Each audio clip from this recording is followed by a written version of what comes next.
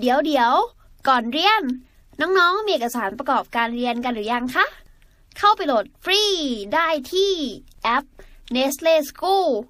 ทั้งใน iOS และ Android เลย ไปก็คือข้อ 35กำหนดให้ f(x) เท่ากับ x ส่วน4ลบ12 เมื่อ x มากกว่าเท่ากับ 10 ก็เป็นฟังก์ชันปีกกานะ ก็คือเรื่องฟังก์ชัน และ f(x) เท่ากับลบ x ส่วน 4 บวก 8 เมื่อ x น้อยกว่า 10 แล้วถามว่า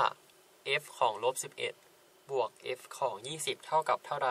ข้อนี้ก็คือแจกแต้มมาก ก็คือแค่เราแทนค่าไปถูก เราก็จะทำถูกแล้ว เราก็มาดูว่า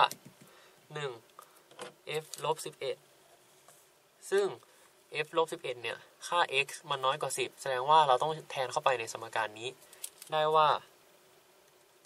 f ของลบ11 เท่ากับ เขียนเป็นลบ x ส่วน 4 ก่อนนะ ซึ่งเราจะแทนลบ 11 เข้าไปใน x ก็ได้ว่าลบของลบ 11 ส่วน 4 บวก 8 จึงได้ว่า 11 ส่วน 4 บวก 8 และ f 20 ซึ่ง 20 มากกว่าเท่ากับ 10 แสดงว่าใช้สูตรข้างบน ได้ว่า x ส่วน4ลบ12 เนี่ย ก็คือ 20 ส่วน4ลบ12 ก็คือ 20 ส่วน4ลบ12 แล้วเขาก็ให้เอา 2 อันนี้มาบวกกัน ได้ว่า 11 ส่วน4บวก 8 วกกับ 5 ก็คือ 20 ส่วน 4 เนี่ย แล้วก็ลบ 12 เท่ากับเท่าใด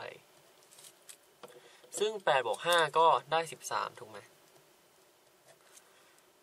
แสดงว่าก็ได้ 11 ส่วน 4 บวก 13 ลบ 12 ก็คือบวก 1 เพราะ 13 ลบ 12 ได้ 1 ซึ่ง 11 ส่วน 4 ก็ได้ 2.75 บวก 1 แสดงว่าข้อนี้ตอบ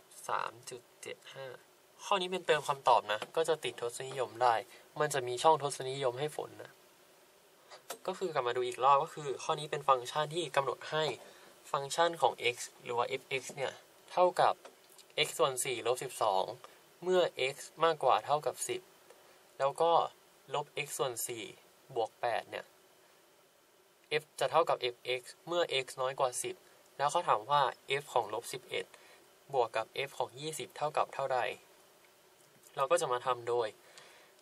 แยกออกมาเป็น 2 ตัวก็คือ f ของลบ11 กับ f ของ 20 ซึ่ง f ของลบ11 มันน้อยกว่า 10 แสดงว่า เราก็ใช้สูตรด้านล่าง ซึ่งได้ออกมาเป็น 11 ส่วน4บวก8แล้วก็ f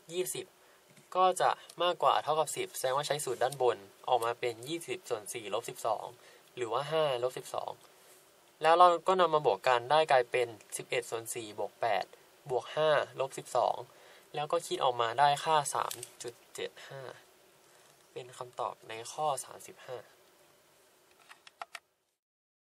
เรียนจบแล้ว อย่าลืม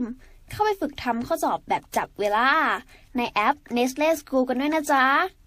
ถ้าน้องๆมีคำถามสงสัย ไม่เข้าใจตรงไหน ถามว่าในแอปได้เลย แล้วพี่ๆจะรีบเข้าไปตอบให้นะคะ